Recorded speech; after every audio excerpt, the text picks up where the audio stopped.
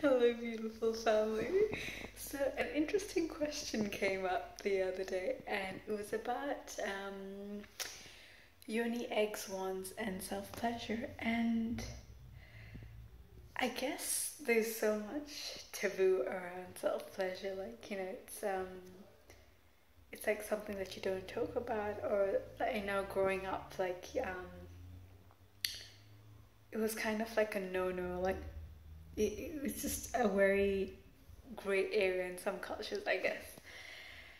And yeah, and now I, I think it's such a self honoring. It's um, honoring what you're feeling, and of course you can transfer that energy up and above. And sometimes it's just nice for some self loving and so the question was regarding guilt that she self pleasures and whether her partner should know about the yoni eggs and wands. I personally can't stop talking about yoni eggs because they're so healing and amazing. So I have spoken to a lot of um, people about it because there's so many healing properties and the response from the men have been incredible and some men actually um, knew about it, and I was like, oh wow, cool. Like, so um,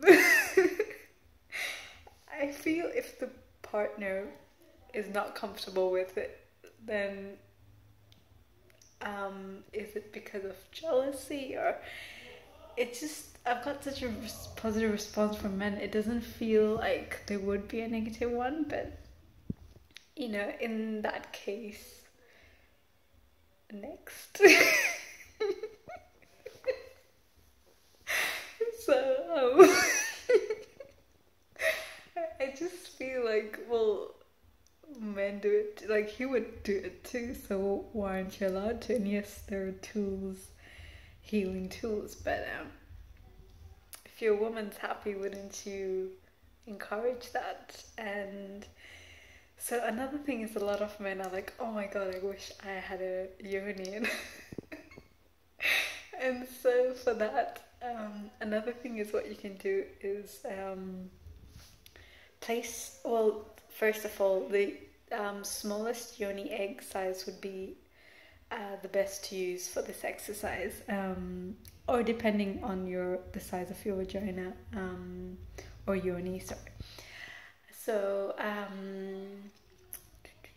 yeah, so basically he can insert it or you can insert it or she can depending on your relationship, partnership, etc.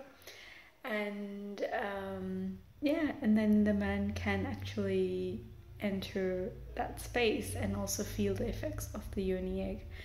So that is one way um, of having um, feeling the yoni egg as well and like the I think it's a healing from both sides, and yeah, yoni eggs are quite intense, and depending on which crystal you're using, maybe both of you can decide on which one you want to use if you want to create more love in the relationship. And rose quartz or lepidolite is also beautiful. So yeah, uh, figure out the purpose and then going from there. So much love. Bye.